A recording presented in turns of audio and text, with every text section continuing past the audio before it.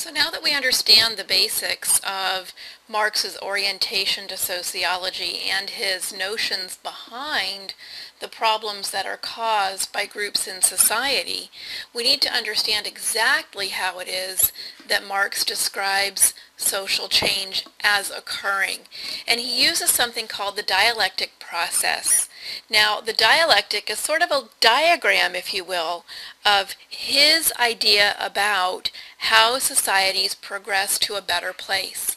So let's see if we can figure out exactly how the dialectic process works. The first thing we should probably understand about the dialectic is that it wasn't the work of Marx, it was the work of one of his mentors, Hegel.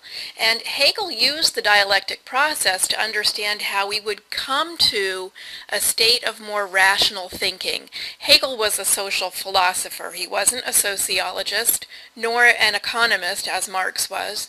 Uh, and so Hegel used the idea of the dialectic process to try and describe how we elevated our thinking, so to speak, to become better people, better societies.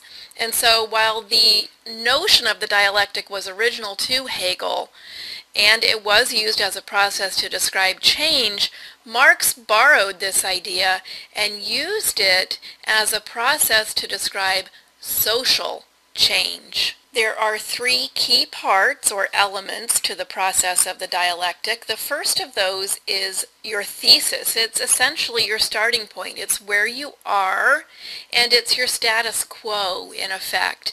If we think about the thesis or the starting point in terms of society, it is exactly where we are at this given moment in time, where we are today. Marx said that in order for change to occur, there would have to be some opposition to the way things are right now.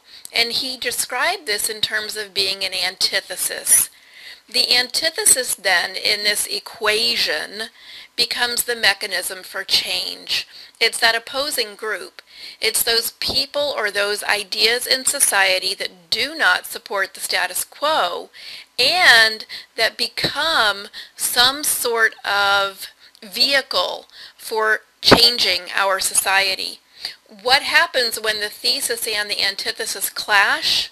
You have a synthesis.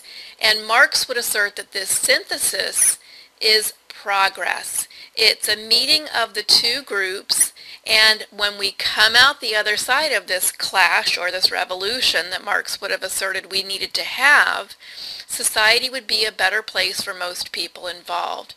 It's important to note that the dialectic is a process. And in being a process, then it does not end. So once we reach the synthesis, the process will start again. The synthesis will become your thesis, your starting point. You'll have a group that will come in, a mechanism for change, which will oppose the status quo. Those two groups will clash, have a revolution, and the process will come to another synthesis. You can see how this sort of idea might help to move society forward, and that's exactly what Marx would have thought. So let's take a look at the dialectic process visually and see if that gives us a little bit clearer understanding. Right, so here we can see our starting point, our thesis.